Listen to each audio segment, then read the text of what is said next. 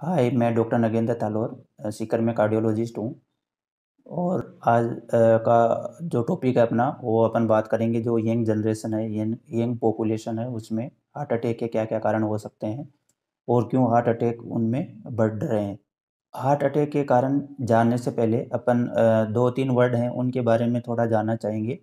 जिनमें एक है हार्ट अटैक दूसरा है कार्डियक अरेस्ट और तीसरा है सडन कार्डियक डेथ तो ये तीनों वर्ड सुनने में सिमिलर से लगते हैं, लेकिन इनमें क्या डिफरेंस है, वो अपन थोड़ा डिस्कस करना चाहेंगे।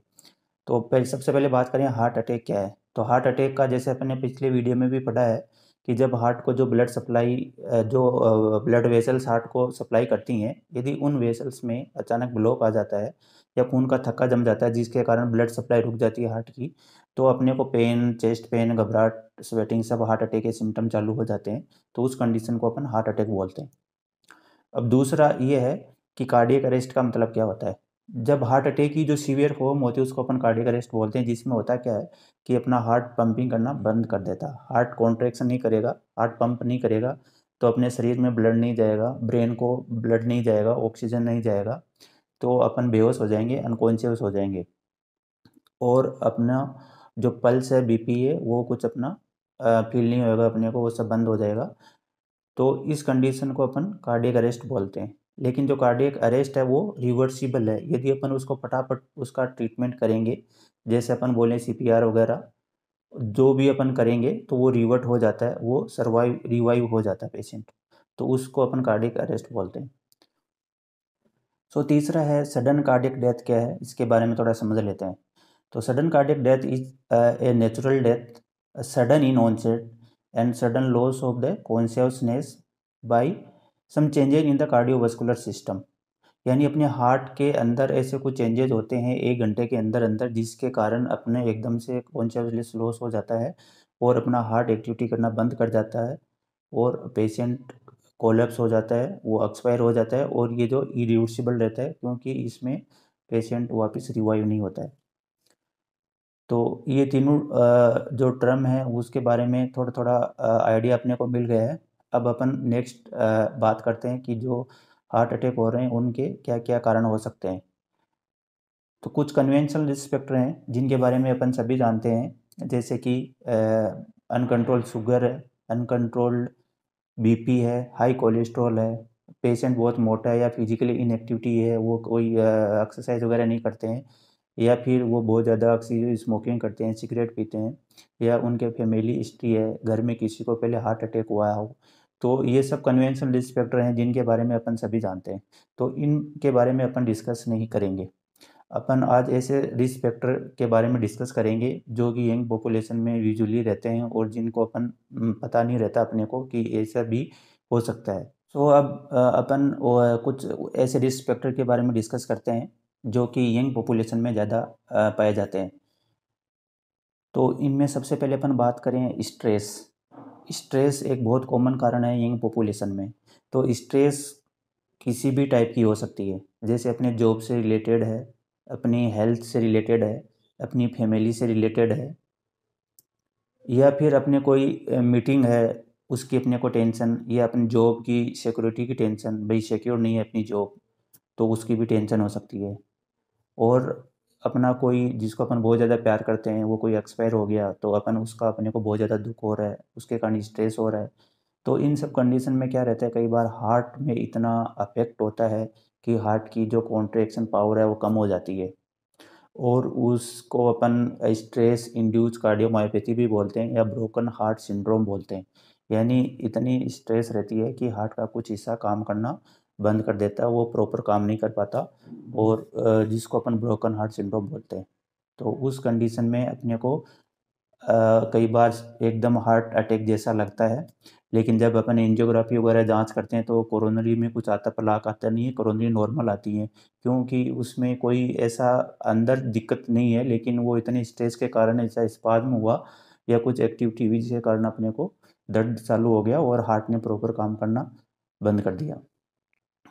दूसरा पॉइंट इसमें अपन बात करें डाइट का।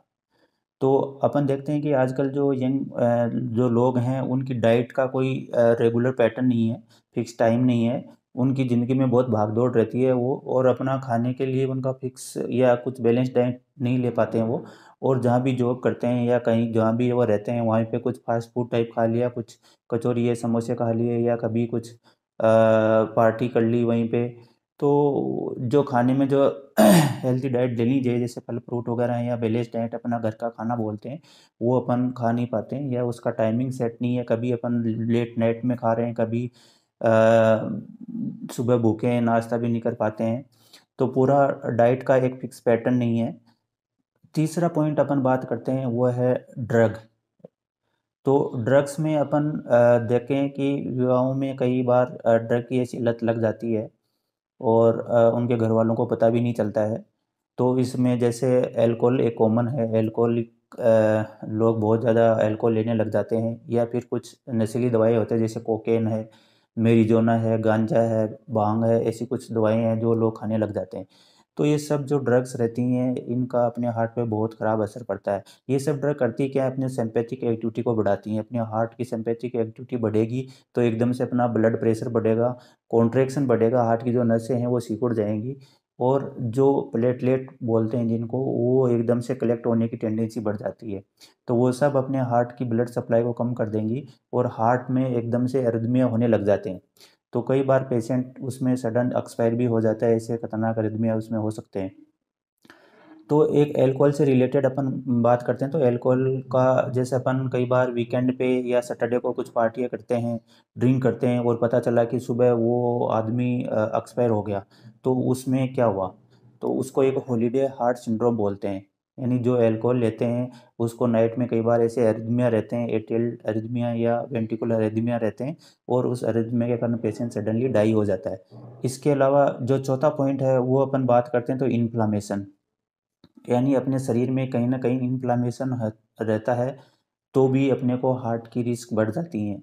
तो ज़रूरी नहीं है कई बार कि फुल फ्लेश इन्फ्लामेशन हो। कुछ इंडोलेंट इन्फ्लामेशन यानी जो अपने शरीर में कुछ छुपा हुआ इन्फ्लामेशन रहता है उसके कारण अपने को आ, क्या रहता है वो ब्लड वेजल्स में कुछ इंजरी करता रहता है। तो वहाँ पे जहाँ भी इंजरी रहेंगी वहाँ पे प्लेटलेट कलेक्ट होने लग जाएँगी वहाँ पे प्लाक बनने की जो क्षमता वो बढ़ जाती है।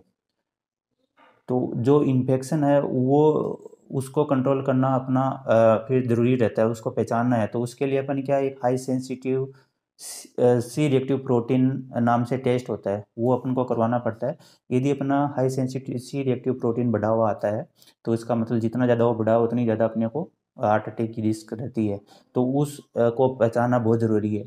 तो अपने उसको जानने के लिए ये नहीं हो कि अपन जैसे खांसी है, जुकाम है या कोई बुखार हो रहा है उस टाइम में अपन वो करवाएँ। क्योंकि उस टाइम तो वो बढ़ावा ही आना है। तो अपने शरीर में जब ऐसे वाली कोई भी दिक्कत नहीं है, अपने को बुखार नहीं है, कोई इन्फेक्शन नहीं है, अपन नॉर्मली हैं और उस टाइम अपने हाई सी रिएक्टिव प्रोटीन करवाते हैं और यदि वो बढ़ावा आता है, इसका मतलब अंदर इन्फ्लामेशन चल रहा है, जो कि अपने हार्ट के लिए खतरनाक हो सकता है। नेक्स्ट जो इसमें कारण अपन है, वो है थ्रोम्बोफीलिया एक ब्लड जो क्लोटिंग टेंडेंसी रहती है कुछ लोगों में, वो बहुत ज़्यादा रहती है। तो यदि क्लोटिंग टेंडेंसी ज़्यादा रहेगी तो शरीर में खून के थके जमने के चांस रहते हैं।